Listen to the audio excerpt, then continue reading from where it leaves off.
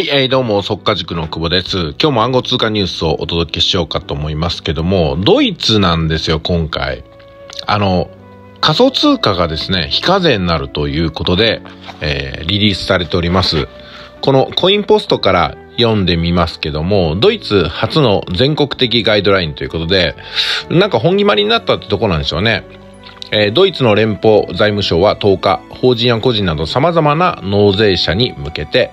えー、仮想通貨暗号資産の所得税取扱いについて容易に、えー、適用できるガイドラインを発行した。このね、簡単に適用できるっていうのがいいんですよ。で、ガイドラインの内容は広い範囲をカバーしているってことで、ビットコイン、イーサリアム、そしてマイニング、ステーキング、レンディング、ハードフォーク、エアドロップ、ユーティリティトークンやセキュリティトークン、えー、従業員所得としてのトークンについても言及するということで、また一つ法整備が整ったなと、税制がクリアになったなっていうところなんですけども、注目したいのはここですよ。暗号通貨を保有して1年間経過後は所得税非課税ですから、いいですか？暗号通貨買って1年間ほったらかしておいたら、そっからはね、税金かかんないんですよ。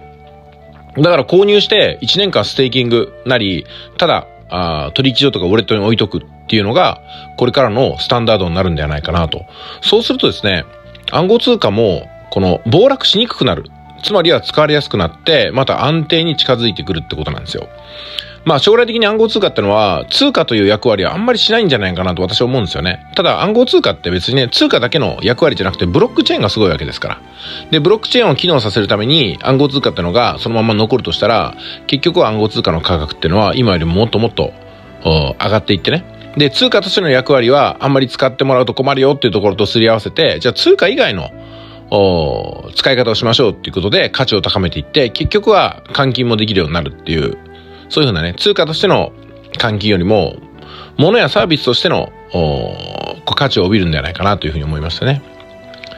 まあ今日お話したいのはね、そういうことですね。えー、ドイツは1年間暗号通貨を保有すると非課税になるということでございます。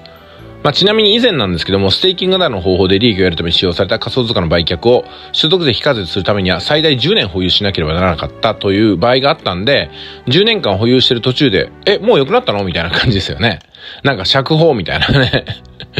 えー、今回のガイドラインはこの10年間という規定は仮想通貨には適用されないと述べているレンディングやステーキングなどに用いた仮想通貨であっても1年が経過すれば売却した場合に所得税は課税されない方針だということなんで日本でもこうなるといいなと思いながらの放送でございました。いやーすごいいいニュースでしたね。それでは。